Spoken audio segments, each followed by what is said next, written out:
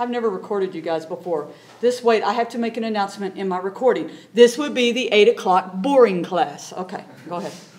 You said, uh, so you could ask you through MyMathLab, is that what you meant? Yeah, in, um, if you're on a problem, ask my instructor, it will email me your exact problem, which is nice because if, if, if you just say, Cindy, can you go look at, go work number three, then my, my numbers may be different than yours. Like yours may have been the sign of that stuff. But if you hit ask my instructor, I get a link that takes me straight to your problem. And that's the best way to ask me. Okay, actually, this class is talking to me this morning. They must all be drunk, huh? All right, so this is the introduction to the precise definition of a limit. To really build your confidence up, beers are opening. To really build your confidence up, this is the section that kills students. Woohoo! All right. Um, it, it is, uh, it's because it's, again, very theoretical. Um, you know, a lot of students have trouble with the why behind it, and let's hope I can kind of today to you.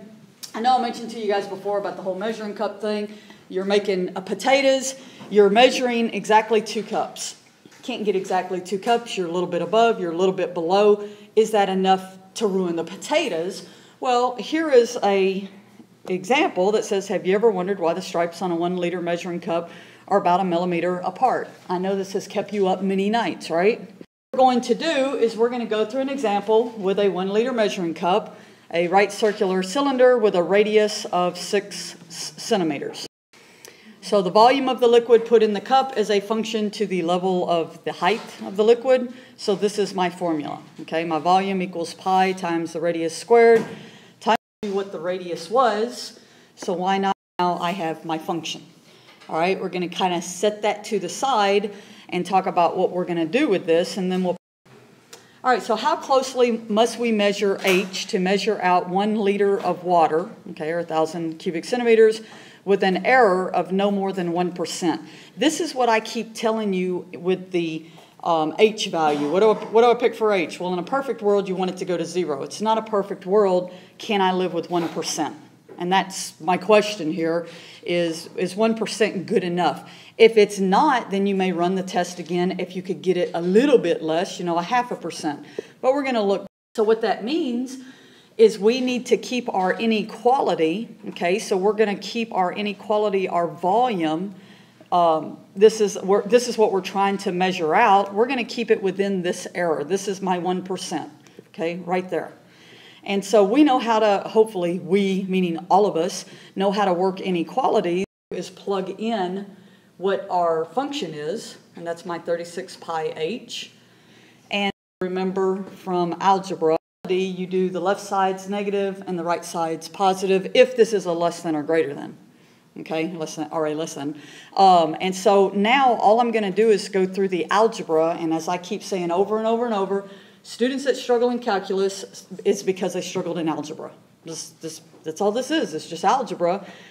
Thousand to all three pieces. Okay, I'm trying to get h by itself. Then I'm going to divide, and don't forget these slides are in that thing, Blackboard. And then I'm going to divide everything by 36 pi. This answer. Well, I mean, the big thing, and once we do more with applications, is we want to know. Well, first, before I say what does this even mean, notice I say round up and round down. Hopefully, that kind of makes sense to you because if this is my target, I'm going to be a little bit above it and a little bit below it, right? Well, if I round this up and round this down, it makes that gap even closer. So that gives me a little bit more precision. And so what this means is this says we should hold this interval, the 8.9 minus 8.8 equals 0.1 centimeters wide, or about 1 millimeter, which is the lines on a measuring cup, which gives 1% accuracy, which for most people is good enough, okay, in cooking. What we just did is the precise definition of a limit, okay, that, that's it. And so you've seen this already. It says we have some function, it's in some interval, I have a point of interest. Except that, ag- that exact point may not even be in the domain of my function. We've seen that before, couldn't divide by zero. So we say that the limit of our function as x approaches this point of interest is this number L, and this is how we write it. So we've done that already, okay? You've seen this, you had a function there, what did you do? What we just did, an example, we plugged in um, that negative 4 pi, and so we had an example where we just plugged in that and we got our limit. So that's nothing new. All right, down here. If for every number epsilon greater than 0, there exists a corresponding number delta greater than 0, such that for all x I'm already tired of reading and this makes absolutely no sense to me. All right, the way I think about this, and it'll look better on the next slide, is I say I'm interested in some error. It's kind of nice they use epsilon because it looks like an E, E for error. I, I have some error that I know about, my measuring cup, 1%. I'm okay with that. What do I need to input to ensure I get that error to stay within my interest, okay, my one liter, whatever, whatever I'm doing? And that's all this means. So I think of this piece more of my output, and this is what I know. I know what um, error I can handle, you know, the machine can handle, whatever, and this is what I want to know. What you want, what I want, what I want. Ain't this what we all want? R E S P E C T. Y'all ain't even old enough to know that song. All right. Okay, so anyway, this certainly looks easier to understand with pictures. So with a picture here, it says make my epsilon. This is my limit. This is what I would like to get. I would like to get exactly one liter. Ain't gonna happen, right? So I could be above it or below it. I could be off by 1%. Let's just stick with the measuring cup. So I know I know this is what I come up with. If I come up with this, can I find this value, my x naught, within some other intervals? So in other words, if I have just say some crazy looking function here, and I know I want to stay within those limits, okay? That's my error. I know that's what I want to do. Then what I end up doing is I make an interval, say, around it, and I can even make it closer that says, well, my interval says I better pick something within there. Otherwise, if I pick something too far, then I, have got too much error. It's more error than what I want. Okay, it may not be too much error. And so that's eventually what we want to do is we want to say, well, you tell me how much error, and then we will figure out what we need our input. This is our output, what we need our input x values, the x naught. So in other words, the value of delta, the delta is the distance here from my point of interest. Okay, it can be here, here, here, wherever. And this will, like you saw in that last picture I grew of the function, this will actually depend on what you set. So always begin with an error greater than zero. Duh, you're going to have some error, okay? You can't get away from that. And then determine the appropriate corresponding, in other words, this distance here. You figure this out, begin with some error that you can live with, and then you calculate this. Must ensure that the function is defined. So in other words, you can't have a jump, you know, the things we talked about around some interval, but I keep saying this over and over and over. It may not actually, you may actually have something like this with a hole right there.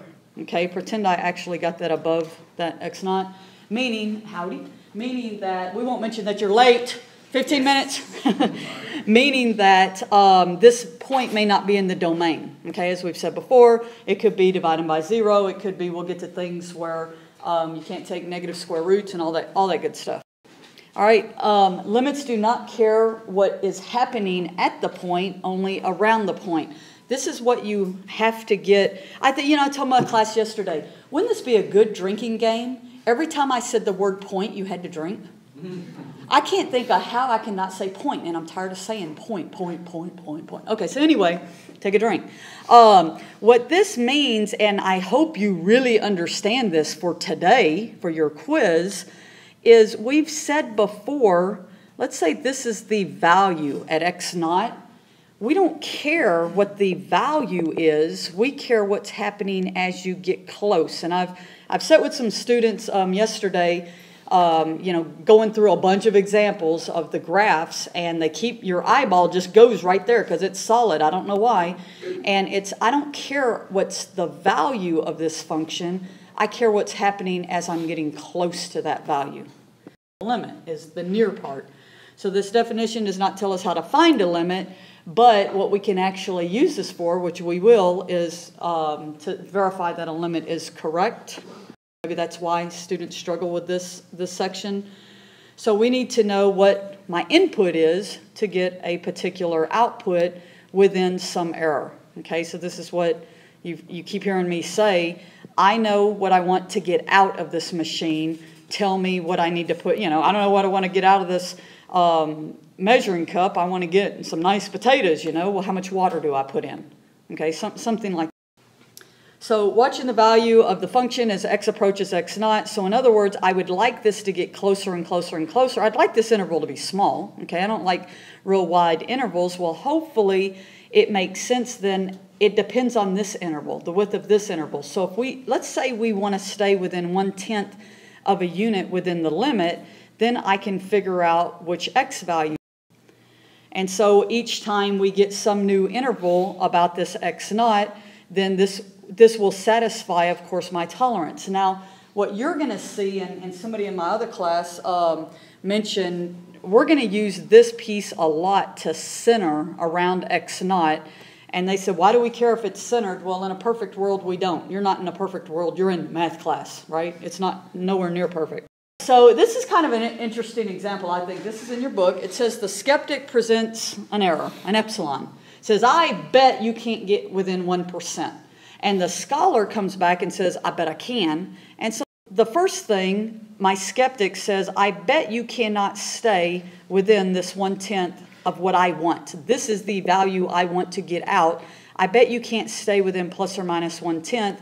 And so he says, I bet I can. I bet I can find an interval that will keep me within this error. And that's what you're doing with this, is you're, you're given this information and you're trying to find your interval here. That's kind of the step one. Find this interval, then you'll see step two, we center the interval. So then, oh, well, if you can do that, well, let's make this a little bit, you know, smaller, which would make sense. You want less error, no problem. I just make this interval smaller. So it's kind of with the pictures to me, I keep saying, well, I want it point with either one, something you can live with, okay, or two, where you finally get to a point, um, you know, maybe your measuring device won't measure any smaller than this, this error right here, and then you're done. But hopefully, as you can see, what's happening, this is getting smaller, and and we just continue to go through this until finally we would love to get something like this because this is almost actually hitting that point. And this is my my interest value. And so if I can get something to hit pretty close to that point. So once again, here's the same definition. We want to ensure ourselves some particular precision. We want to stay within some error, again, 1%, whatever, whatever we're doing. And then this is, go- this is going to tell me my range of my input values. Okay, so let's, let's do it. Sure. 2.3. Precise